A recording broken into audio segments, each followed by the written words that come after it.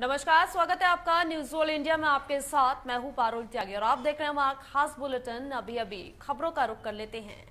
उत्तर प्रदेश के 32 जिलों में अवैध धर्मांतरण का जाल फैला हुआ है।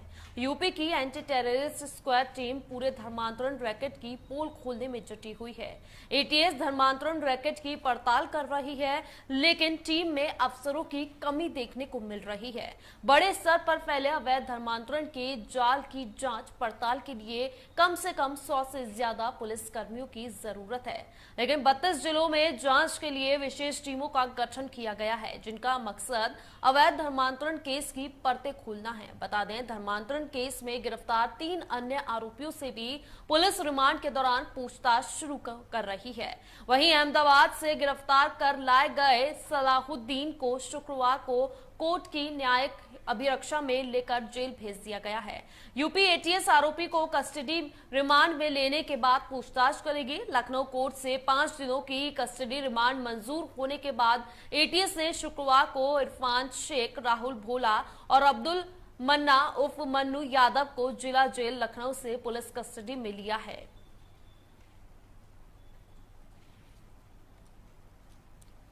तो बता दें, लगातार यूपी में धर्मांतरण का फैला हुआ जाल की परतें खुलती जा रही हैं और लगातार एटीएस की टीम सक्रिय होती नज़र आ रही है।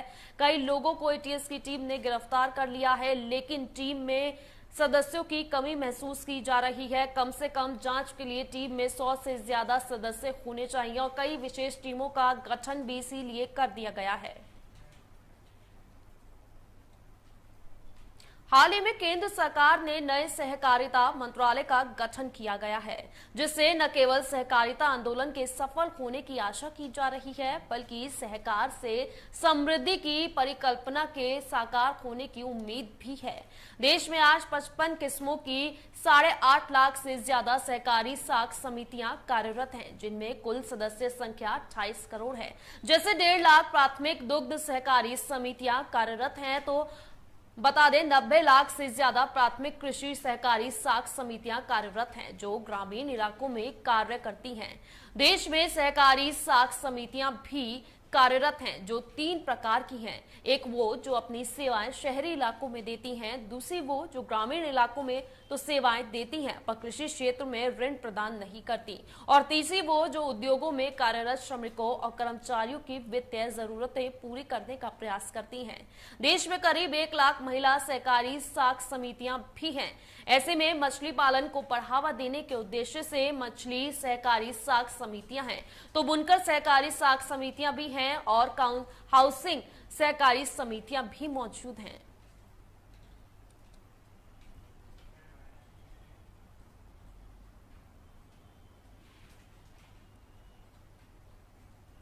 बिहार में बाढ़ की स्थिति भयावह बनी हुई है और इसी बीच समस्तीपुर शहर से एक डराने वाली तस्वीर सामने आई है।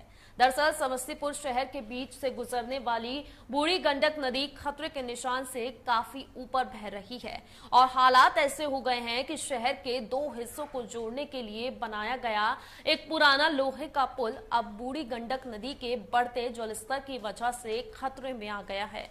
दरअसल समस्तीपुर शहर के दो हिस्सों को जोड़ने वाला ये पुराना लोहे का पुल तकरीबन 70 साल पुराना है। जानकारी के मुताबिक इस लोहे का पुल का निर्माण उन्नीस सौ इक्यावन में किया गया था।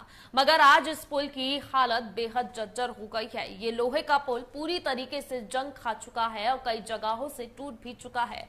बूढ़ी गंडक नदी पर बने इस लोहे के पुल को लेकर जा जो सबसे ज़्यादा खतरे की बात है वो ये है कि प्रशासन के द्वारा इस पुल के इस्तेमाल पर रोक लगाए जाने के बावजूद भी इस पर रोज़ाना हज़ारों लोगों का आना जाना होता रहता है। और साथ ही इस पुल पर फल, बर्तन, मसाला और कपड़े की भी सैकड़ों दुकानें लगी रहती हैं। तो बता दें, तस्वीर आप अपनी स्क्रीन पर देख रहे हैं। इस समय गंडक नदी का जलस्तर बढ़ने से बिहार में बाढ़ जैसे हालात बनते हुए नज़र आ रहे हैं, लेकिन वहाँ बता दें, लोहे का पुल पूरी तरह से जर्जर हो गया है। सत्तर साल पुराना पुल पूरी तरह से जर्जर हो गया है, लेकिन उसके बावजूद भी कोई भी उसमें काम नहीं किया जा रहा है। हालाँकि तस्वीरें में आप देख सकते हैं किस तरह से लोगों के घरों में, गाँव में पानी भरता हुआ नज़र आ रहा है। राजस्थान के स्वास्थ्य मंत्री डॉक्टर रघु शर्मा ने कहा है कि हम दो, हमारे दो का एक कानून बदलकर हम दो, हमारा एक करना चाहिए। भारत सरकार अगर ऐसा कानून बनाती है तो राजस्थान सरकार भी उसका साथ देगी। सच्चाई तो ये है कि आज से 29 साल पहले राजस्थान में जनसंख्या नियंत्रण के लिए उत्तर प्रदेश जैसे कानून बने थे, लेकिन जनसंख्या का विस्फोट जारी है। राजस्थान में प्रजन दर उत्तर प्रदेश से भी ज़्यादा है। बता दें, राजस्थान में दो सौ विधायकों में से 77 के तीन से लेकर नौ बच्चे हैं। पिछले साल, पिछले सात दशकों में राजस्थान की आबादी 426 परसेंट बढ़ी है। साल 1947 में राजस्थान की आबादी डेढ़ करोड़ से बढ़कर आठ करोड़ हो गई थी। राजस्थान देश के उन राज्यों में है जहाँ आबादी नियंत्रण के लिए सबसे पहले कठोर कानून बनने शुरू हुए थे। उन्नीस सौ बानवे में पहली बार राजस्थान के मुख्यमंत्री रहे स्वर्गीय भैरव सिंह शेखवत। शेखावत ने पंचायत और नगर पालिका कानून में बदलाव करते हुए जनप्रतिनिधि चुने जाने के लिए दो बच्चे अनिवार्य कर दिए थे। तो बता दें, लगातार यूपी सरकार की जनसंख्या कानून नीति लाने के बाद से ही तमाम राज्यों में इसको लेकर चर्चा ज़ोर पकड़ती जा रही है। हालाँकि सियासी बवाल भी इस पर मचा हुआ है। बिहार के बाद अब राजस्थान में भी जनसंख्या नियंत्रण कानून को लागू करने की बात सामने आ रही है।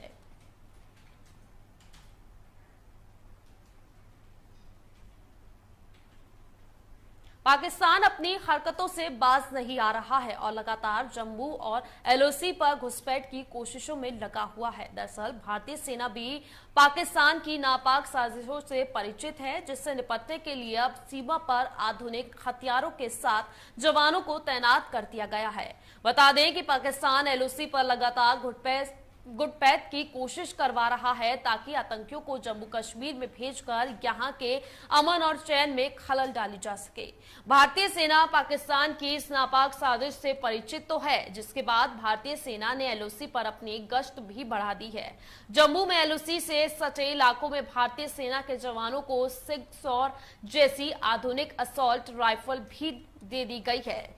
सीमा पर तैनात इन जवानों को कुछ आधुनिक उपकरणों से लेस किया गया है, जिनमें एचडी और नाइट विजन वाले कैमरा भी शामिल हैं। दरअसल, पाकिस्तान जहाँ एक तरफ़ इसी साल फरवरी महीने में सीमा पर जारी युद्ध विराम योजनाओं के शब्दों का सम्मान करने की बात कह रहा था, लेकिन पाकिस्तान युद्ध विराम की शर्तों का सम्मान करने के नाम पर सीमा पर लगातार घुसपैठ करवा रहा है।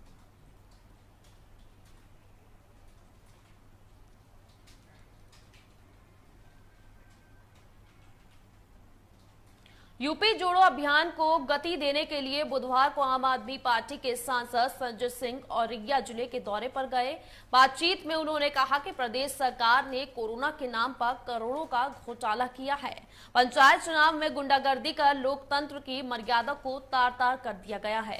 शहर के एक होटल में सांसद संजय सिंह ने कहा कि उत्तर प्रदेश में वेंटिलेटर, वाइपर, मॉनिटर की खरीद में करोड़ों का घोटाला हुआ है। लखनऊ के हजरतगंज थाने में प्रदेश सरकार के मंत्री सुरेश खन्ना, प्रमुख सचिव आलोक कुमार और कई मेडिकल कॉलेज के संचालकों के खिलाफ एफआईआर दर्ज कराने के लिए तहरीर भी दी गई है। केजरीवाल मॉडल को लेकर यूपी में सदस्य अभियान शुरू किया गया है और हर विधानसभा क्षेत्र में पच्चीस हज़ार सदस्य बनाए गए हैं। बता दें 2020 में प्रदेश में बदलाव देखने को भी मिलेगा। तो लगातार 2022 के चुनाव को लेकर तैयारियाँ जोरों शोरों पर हैं और ऐसे में आम आदमी पार्टी के सांसद संजय सिंह औरैया दौरे पर पहुँचे, जहाँ उन्होंने बीजेपी सरकार पर जमकर हमला बोला। तो बता दें, अगले साल होने वाले यूपी में विधानसभा चुनाव को लेकर सभी पार्टियाँ सक्रिय होती नज़र आ रही हैं। सभी पार्टियाँ अभी से पुरजोर कोशिश कर रही हैं। ऐसे में आम आदमी पार्टी के सांसद संजय सिंह औरैया पहुँचे और जहाँ उन्होंने बीजेपी सरकार पर कई आरोप भी लगाए और साथ ही साथ उन्होंने कहा कि वेंटिलेटर और कोरोना के मामले में कई काफ़ी ज़्यादा धोखाधड़ी की गई है, फर्जीवाड़ा किया गया है और ऐसे में कई मामले सामने आए हैं और एफआईआर भी दर्ज होनी चाहिए। इसके साथ ही साथ उन्होंने कहा कि चुनाव में गुंडागर्दी कर लोकतंत्र की मर्यादा को तार तार कर दिया गया था। शहर के एक होटल में सांसद संजय सिंह का कहना है कि उत्तर प्रदेश में वेंटिलेटर, वाइपर, मॉनिटर की खरीद में करोड़ों का घोटाला हुआ है। बता दें 2022 के चुनाव को लेकर सभी पार्टियाँ लगातार सक्रिय नज़र आ रही हैं और ऐसे में आम आदमी पार्टी के सांसद संजय सिंह औरैया ज़िले के दौरे पर आए और बातचीत में उन्होंने कहा कि प्रदेश सरकार ने कोरोना के नाम पर करोड़ों का घोटाला किया है। पंचायत चुनाव में गुंडागर्दी पर लोकतंत्र की मर्यादा को तार तार कर दिया गया है। शहर के एक होटल में सांसद संजय सिंह ने कहा कि उत्तर प्रदेश में वेंटिलेटर, वाइपर, मॉनिटर की खरीद में करोड़ों का घोटाला हुआ है। इतना ही नहीं, लखनऊ के हजरतगंज थाने में भी प्रदेश सरकार के मंत्री सुरेश खन्ना, प्रमुख सचिव आलोक कुमार और कई मेडिकल कॉलेज के संचालकों के खिलाफ एफआईआर दर्ज कराने के लिए भी तहरीर दी गई है।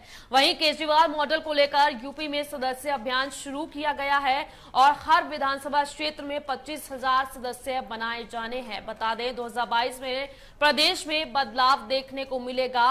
आम आदमी पार्टी लगातार इस बात का दावा कर रही है।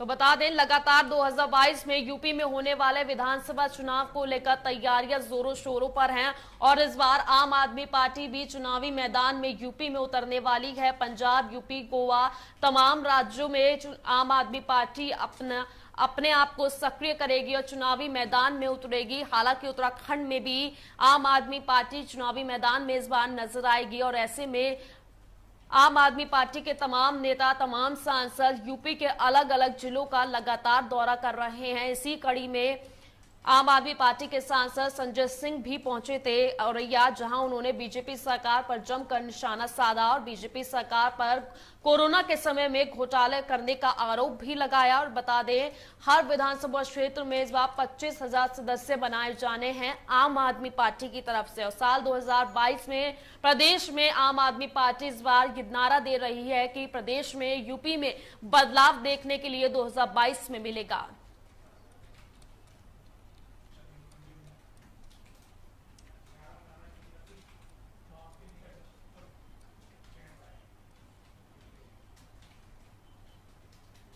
उत्तर प्रदेश एटीएस द्वारा 12 जुलाई को अलकायदा के सदस्य होने के आरोप में गिरफ़्तार दो मुस्लिम युवकों को जमीयत उलमा ए हिंद के ने कानूनी सहायता देने का फैसला किया है।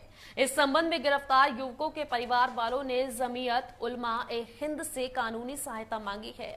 इस विषय में जमीयत कानूनी इमदाद कमेटी के अध्यक्ष गुलजार आजमी ने कहा कि आरोपियों के परिवार वालों की ओर से कानूनी सहायता का अनुरोध प्राप्त होने और अध्यक्ष जमीयत उलमा ए हिंद मौलाना सैयद अरशद मदनी के आदेश पर आरोपियों को कानूनी सहायता दी जाएगी और आरोपियों के बचाव में एडवोकेट फुरकान खान को नियुक्त किया गया है। उन्हें निर्देश दिया गया है कि वो अदालत से मुकदमे से संबंधित दस्तावेज़ को निकालें, जिसमें रिमांड रिपोर्ट, एफआईआर की प्रति और अन्य चीज़ें शामिल होंगी। उन्होंने कहा कि वर्तमान में आरोपी पुलिस की हिरासत में है और मुकदमे की अगली सुनवाई पर आरोपियों के बचाव में एडवोकेट फुरकान अदालत में उपस्थित रहेंगे। गुलजार आजमी ने कहा कि लखनऊ में प्रसिद्ध और वरिष्ठ एडवोकेट मोहम्मद शोहेब ने भी जमीयत उलमा से आरोपियों का मुकदमा मुकदमा लड़ने का अनुरोध किया है।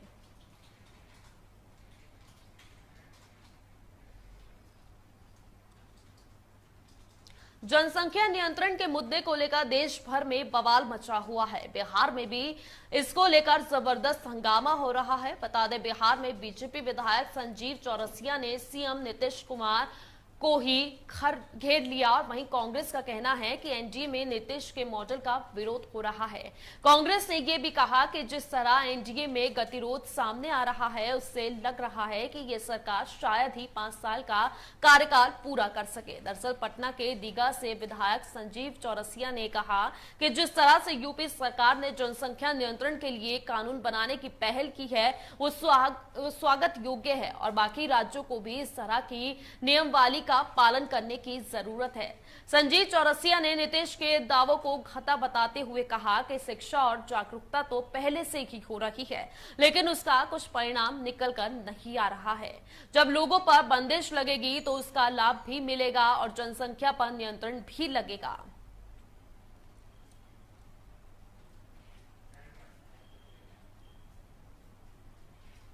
हरदोई के माधोगंज के गाँव में चाइल्ड लाइन और पुलिस ने बाल विवाह रुकवा दिया। बता दें, बालिका को आज बाल कल्याण समिति के सामने पेश किया जाएगा।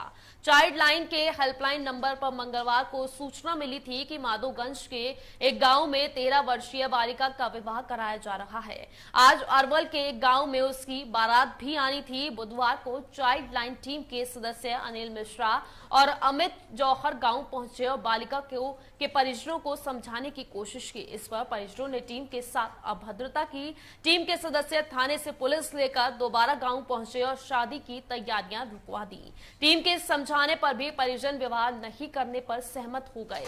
चाइल्ड लाइन प्रभारी अनूप कुमार तिवारी ने बताया कि शादी रुकवा कर बालिका की काउंसलिंग की गई। फ़िलहाल बालिका को परिजनों के ही सुपुर्द कर दिया गया है। गुरुवार को बाल कल्याण समिति के सामने बालिका को पेश किया जाएगा।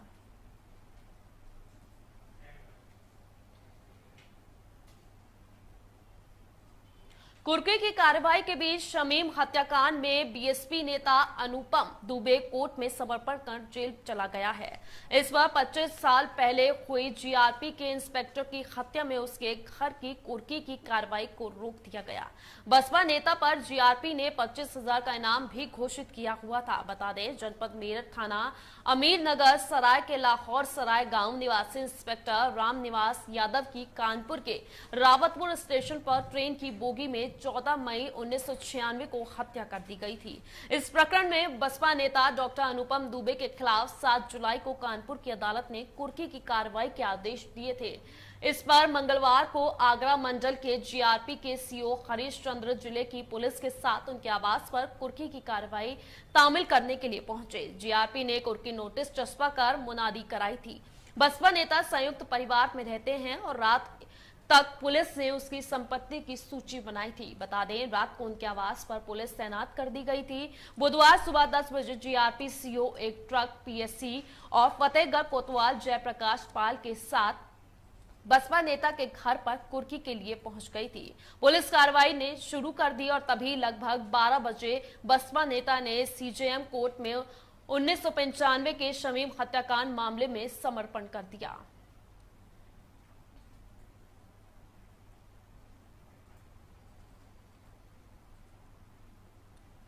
अब सरकारी अनाज के लिए उपभोक्ताओं को ना तो लंबी कतारें लगानी होंगी और ना ही राशन कम मिलने की शिकायत का कोई मौका रहेगा।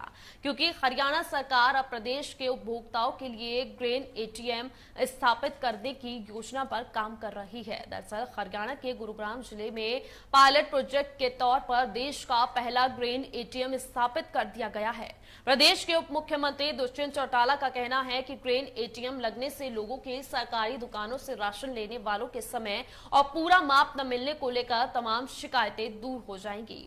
उन्होंने कहा कि इस मशीन को लगाने का मकसद right quantity to right beneficiary है। बता दें, दुष्यंत के पास ही खाद्य और आपूर्ति विभाग भी है। उन्होंने कहा कि इससे न केवल उपभोक्ताओं को फ़ायदा मिलेगा, बल्कि सरकारी डिपो पर अनाज घटने का झंझट भी खत्म होगा और सार्वजनिक अनाज वितरण प्रणाली में पहले से ज़्यादा पारदर्शिता भी आएगी। डिप्टी सीएम ने कहा कि मशीनें न केवल सरकारी डिपो संचालकों को अनाज वितरण में सहायता साबित होगी, बल्कि इससे डिपो संचालकों का समय भी बचेगा।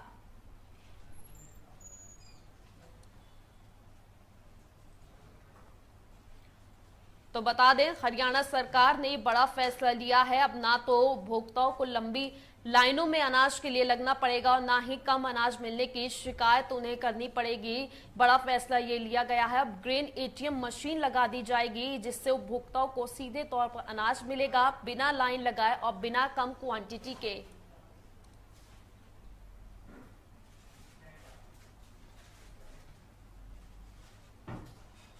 देश के कई अन्य राज्यों की तरह दिल्ली में भी कोरोना के मामलों में लगातार गिरावट देखी जा रही है। दिल्ली में कोरोना संक्रमण दर अब शून्य दशमलव एक फ़ीसदी हो गई है। साथ ही पिछले 24 घंटों में कोरोना के 77 नए मामले सामने आए हैं। इस दौरान राजधानी में एक मरीज़ की जान भी गई है। बता दें, दिल्ली में कोरोना के नए मामलों और मौतों की संख्या में गिरावट लगातार देखी जा रही है। पिछले चौबीस घंटे में एक मरीज़ की मौत हुई है। इससे महामारी की वजह से यहाँ पर अब तक पच्चीस लगातार 21 मरीजों की मौत हो चुकी है। कोरोना डेथ रेट एक दशमलव चार सात फ़ीसदी हो चुकी है। पिछले 24 घंटे में कोरोना के 77 नए मामले सामने आने के बाद राजधानी में अब सक्रिय मरीजों की संख्या छह सौ अठासी हो गई है। दिल्ली में कोरोना से संक्रमित लोगों की कुल संख्या चौदह लाख हज़ार दो सौ इक्यासी हो गई है। फ़िलहाल यहाँ पर 215 मरीज़ होम आइसोलेशन में है। बता दें, दिल्ली में सोमवार को 45 नए मामले सामने आए थे। तो लगातार दिल्ली में भी कोरोना के मामले घट रहे हैं। जिस तरह से दूसरी लहर में, कोरोना की दूसरी लहर ने दिल्ली में तबाही मचाई थी, उसके बाद उसी तेज़ी से दिल्ली में लगातार मामले घटते हुए नज़र आ रहे हैं। और पिछले 24 घंटे में 77 कोरोना के मामले सामने आए हैं, जबकि एक मरीज़ ने अपनी कोरोना के चलते जान गंवा दी है।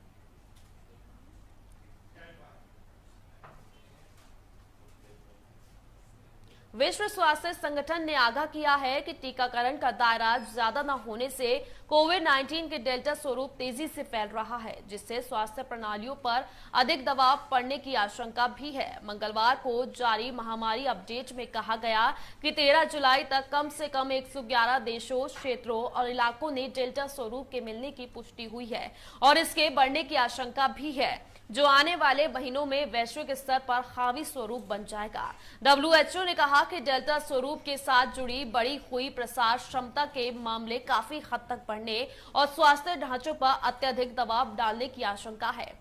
खासकर टीका कम लगाए जाने के संदर्भ में। डेल्टा स्वरूप के फैलने की क्षमता अब तक पहचाने गए चिंता वाले अन्य स्वरूपों की तुलना में कहीं ज़्यादा है। बड़ी हुई संक्रमणता का मतलब है कि यहाँ आने वाले महीनों में दुनिया भर में प्रमुख स्वरूप बनने वाला है। इसके अलावा टीका वितरण में भी असमानता के चलते भी डेल्टा तेज़ी से फैल रहा है। कोवाक्स कार्यक्रम के तहत इस टीका असमानता को कम करने पर काम भी किया जा रहा है।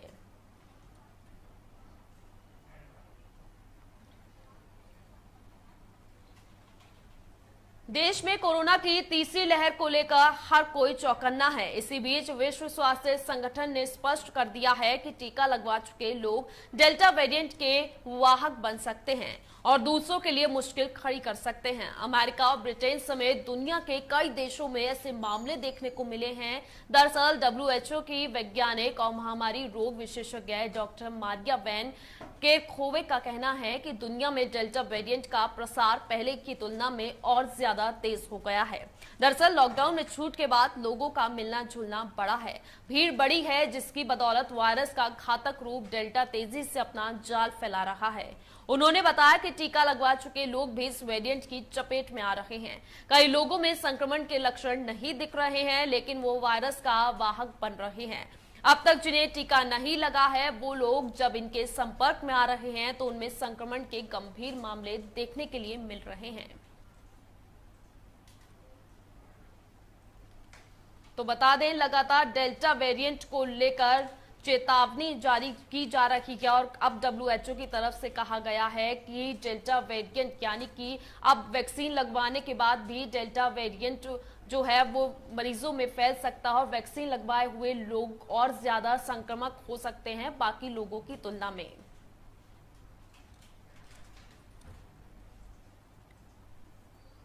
भारत 119 खिलाड़ियों सहित टोक्यो ओलंपिक के लिए 228 सदस्यीय दल भेजेगा।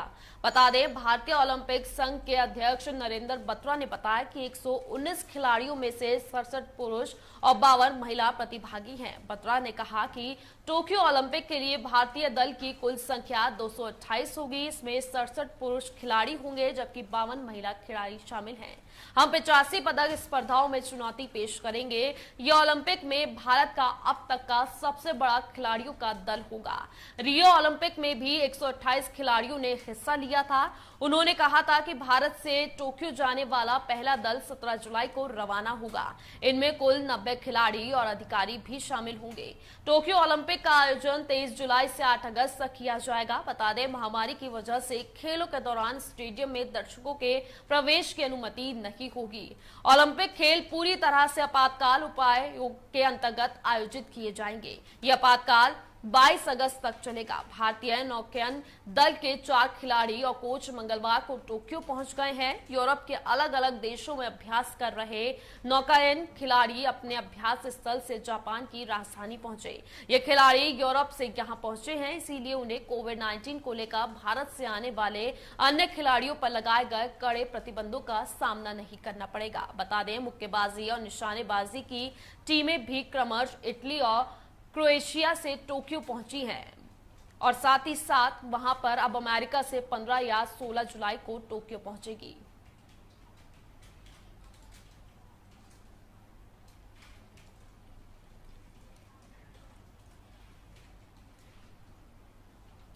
इंग्लैंड के खिलाफ शुरू होने वाली टेस्ट सीरीज़ से पहले भारतीय क्रिकेट टीम से चिंता बढ़ाने वाली खबर सामने आई है। दरअसल, इंडिया टीम के दो प्लेयर्स कोरोना पॉजिटिव पाए गए हैं। ये तब हुआ जब वर्ल्ड टेस्ट चैंपियनशिप के बाद से ही टीम इंडिया ब्रेक पर चल रही है।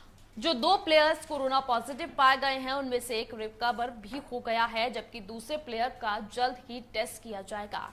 जानकारी के मुताबिक, दोनों ही खिलाड़ियों को ठंड लगने, खांसी और हल्के बुखार जैसे हल्के लक्षण ही थे, लेकिन दोनों ही हालात दोनों की काबू में है। पॉजिटिव आने के बाद एक खिलाड़ी टेस्ट में नेगेटिव पाया गया, जबकि दूसरे प्लेयर का टेस्ट 18 जुलाई को किया जाएगा। बता दें 18 जुलाई को आइसोलेशन में प्लेयर का दसवां दिन होगा। सूत्रों के मुताबिक रविवार को दूसरे खिलाड़ी का टेस्ट होगा। नेगेटिव आने पर जल्द ही वो खिलाड़ी भी बाकी टीम के कैंप के साथ शामिल हो जाएगा।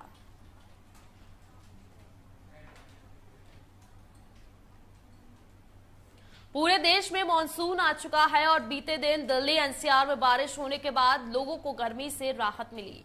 मौसम विभाग ने जानकारी दी है कि अगले चार से पाँच दिन दिल्ली में बारिश के साथ ही हिमाचल प्रदेश, उत्तर प्रदेश, उत्तराखंड में भी कुछ स्थानों पर भारी से बहुत ज़्यादा बारिश हो सकती है। वहीं हिमाचल प्रदेश और उत्तराखंड के लिए भी येलो अलर्ट जारी किया गया है। आईएमडी की तरफ़ से राजस्थान और जम्मू कश्मीर के लिए ऑरेंज अलर्ट जारी किया गया है। विभाग के अनुसार मध्य प्रदेश, छत्तीसगढ़ पंजाब, हरियाणा में आज हल्की से मध्यम बारिश की संभावना है। यूपी की राजधानी लखनऊ के कई इलाकों में आज बारिश हो सकती है। वहीं अन्य कुछ जगहों पर, यानी कि सहारनपुर, मेरठ, बिजनौर, मुजफ्फरनगर, अमरोहा, मुरादाबाद, रामपुर, पीलीभीत, बलिया, लखीमपुर, खीरी समेत कई इलाकों में भारी बारिश की चेतावनी जारी की गई है। विभाग के मुताबिक छत्तीसगढ़, तेलंगाना, महाराष्ट्र मध्य प्रदेश में अगले दो दिनों तक अच्छी बारिश हो सकती है। झारखंड के कुछ हिस्सों में भी आज बारिश होने की पूरी संभावना जताई गई है।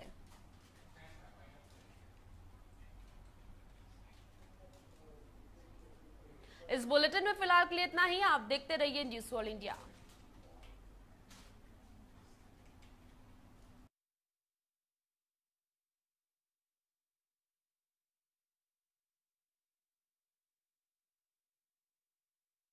है कि जनता समझे और इसी कड़ी में पीएम